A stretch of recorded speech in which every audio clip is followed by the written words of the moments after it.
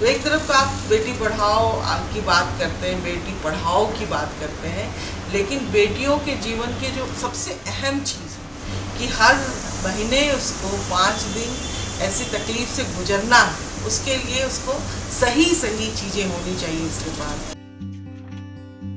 जो महिला संबंधित बीमारियाँ हैं जिनको लेकर, उसके बारे में ना तो हमारा सब समाज सजग है, ना खुद महिलाएँ सजग हैं। स्वाभाविक बात है, अगर टेस्ट लगेगा तो जो हाई क्वालिटी के फैमिली से बिलोंग करते हैं, जो हाई लेवल के हैं, उनके लिए तो कोई मैंने कोई बात फ़र्क ही नहीं पड़ेगा। पर, जो यूज़ भी करते थे मिडिल क्लास या फिर थर्ड क्लास व्यक्ति गर्ल्स स्टूडेंट लोग तो वो अब नहीं करेंगे।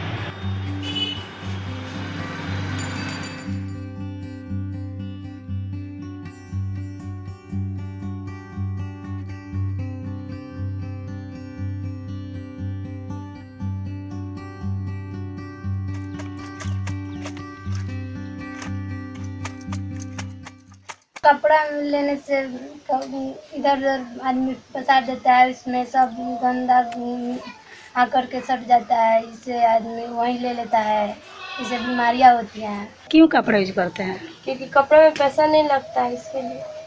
स्टेपली हर तरह से सफ़ाई रहता है पैक पैक रहता है आदमी जब भी जाता है तभी ले सकता है कहीं आने जाने में दिक्कत नहीं होता है।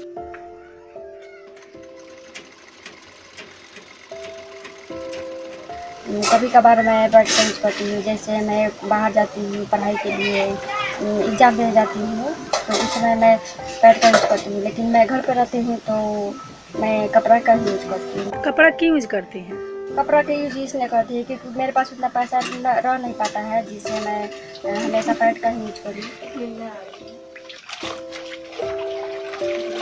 कपड़े जब इस्तेमाल करती थी लड़कियाँ तो उसको न धूप लगती थी, न सूरज की रोशनी में उसको सुखाया जाता था, किसी अंधेरे कोने में उसे रखा जाता था। तो उसमें कई तरह के इन्फेक्शंस होने के चांसेस हैं और होते रहते हैं इन्फेक्शंस कई मामले ऐसे सामने आए हैं कि महिलाओं के पास कपड़े नहीं है तो उसके भीतर वो राख भर के इस्तेमाल करती है। तो भाई जननी है और उसी को जो जो जीवन देती है, उसी के साथ ये जाती हो रही है आप उनके साथ जीवन में जो कुछ बदलाव हो रहा है, उस पर सरकार कोई काम नहीं कर रही और सैनिटरी नैपकिन जैसी छोटी सुविधा है, ये कोई बड़ी सुविधा नहीं स्वास्थ्य की ये बहुत मामूली सुविधा है, उस पर आप टैक्स लगा रहे हैं। दरअसल जो सरकार में जो लोग हैं, वो भी पुरुषवादी मानसिकता के लोग हैं। और उनको ये भी पता है कि महिलाओं को हम कैसे अट्रैक्ट कर सकते हैं। क्योंकि बिंदी और सिंदूर जो है, वो उनके सुहाग से जुड़ा हुआ चिन्ह है। तो उस पर टैक्स लगाएँगे तो हो सकता है महिलाओं के भीतर एक बड़ा गुस्सा है लेकिन सैनिटरी पैड पर टैक्स लगाएँगे तो उस, उसको लेकर उतना गुस्सा नहीं हो सकता है। जबकि उल्टा होना चाहिए। उस पर ज़्यादा गुस्सा होना चाहिए क्योंकि वो हमारे जीवन से जुड़ा हुआ हो। अगर आप स्वस्थ नहीं है तो आप आपकी ज़िंदगी जा सकती है। तो ये ज़्यादा बड़ा मामला है। दर्द भी हुआ इसके वजह से बीमारी हुआ मेरी भी हुई थी। इसके वजह से बहुत परेशानी थी। इसके वजह से हम ऑपरेशन भी करा लिए।